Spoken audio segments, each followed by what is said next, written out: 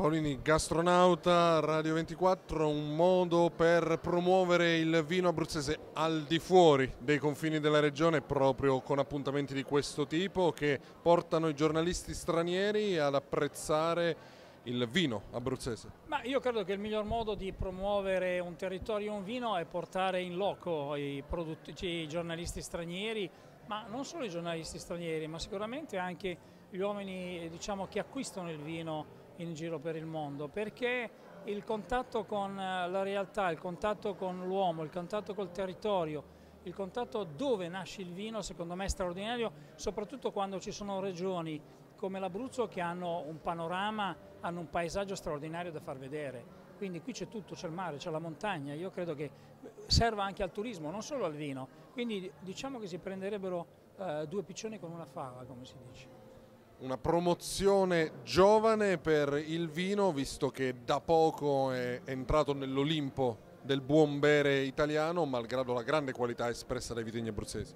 Ma io non è da oggi che scopro i vitigni abruzzesi, eh, come ho detto eh, conosco Valentini, addirittura il padre, Masciarelli. Di Masciarelli è venuto un giorno a Milano per dirmi poco prima di morire che io avevo scritto il primo articolo su di lui. Quindi questo dimostra che io già vent'anni fa sul Sole 24 Ore, perché scrivo contemporaneamente sul Sole 24 Ore da 30 anni, cioè dei vini, dei vini me ne sono sempre occupati, a cominciare anche dai vini di Nicodemi. Quindi sono eh, diciamo, tre produttori che io già conoscevo vent'anni fa.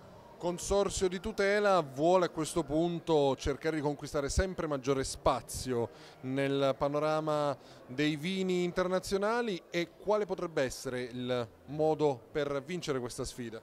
Ma questa sfida è far conoscere i vini perché i vini parlano, come ha detto qualcuno, e secondo me è vero. Quindi il problema di far assaggiare questi vini a più persone possibili, persone che decidono e di conseguenza poi avviene il tam tam. Quindi di andare all'estero, promuovere all'estero, ma al tempo stesso portare, far venire qua, non lo so, chef, ristoratori, insomma il mondo che poi consuma il vino, non solo giornalisti. Perfetto, grazie mille.